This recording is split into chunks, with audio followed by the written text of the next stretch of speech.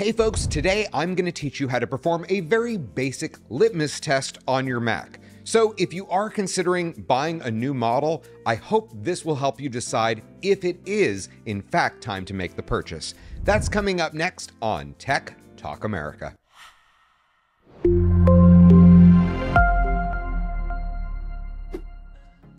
Hey folks, and welcome to the class. I wanted to make this video because many of my clients are on older Intel Macs and are starting to consider upgrading. In my experience, the best indicator of health of a Mac is to test the read and write speeds of the hard drive. I will teach you how to use a simple free app momentarily that will provide you with these two numbers. Now, please do me a favor and let me know in the comments section what your read and write speeds are and which model Mac you're using. It's not because I'm curious, it's because I want other people in a similar situation to be able to see the difference. At this point, I'd like you to go into the App Store on your Mac and search for Blackmagic Disk Speed Test. This tool measures the read and write performance of storage media in video frames, rates, and formats. For this test, 99% of you should not pay any attention to the information shown in the bottom half of the screen. We really only care about the two big numbers that it'll display at the top. Now I'd like you to go to the File menu and click on Select Target Drive. Then we're going to select a location on your hard drive. I always like to use the movies folder because that location does not talk to iCloud. If you don't have a shortcut to the movies folder in your sidebar, just press Command, Shift, and the letter H as in home, which will take you to the home folder. Now double click on the movies folder and click open.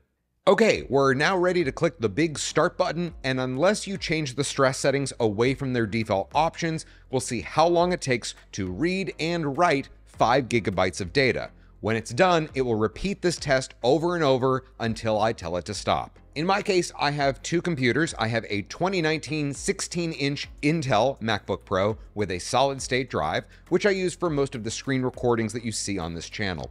My other computer, my main computer, is my 2022 Mac Studio with the M1 Max chip, which I use to edit that content.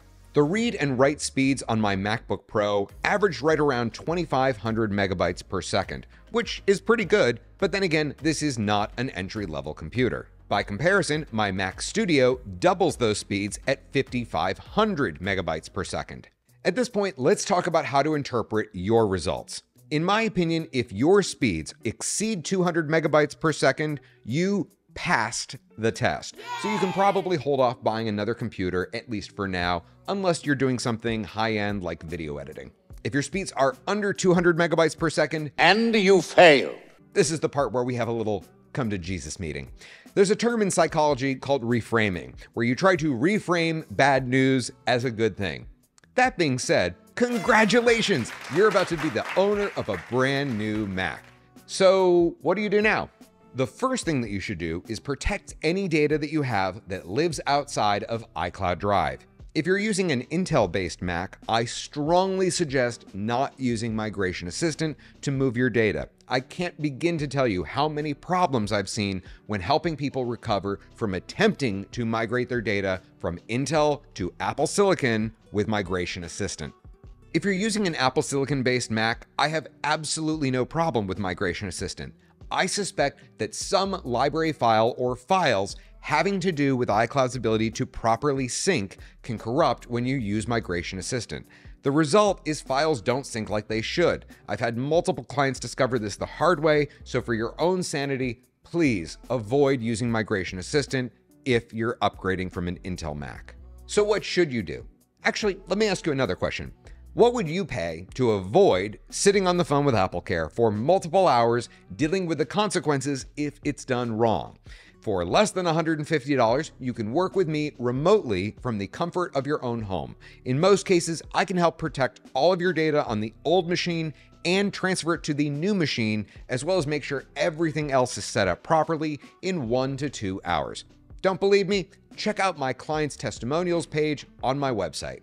If you're trying to decide which Mac to buy, be sure to check out my video from last week. Thanks for watching, everyone. This is David A. Cox with Tech Talk America. Class dismissed.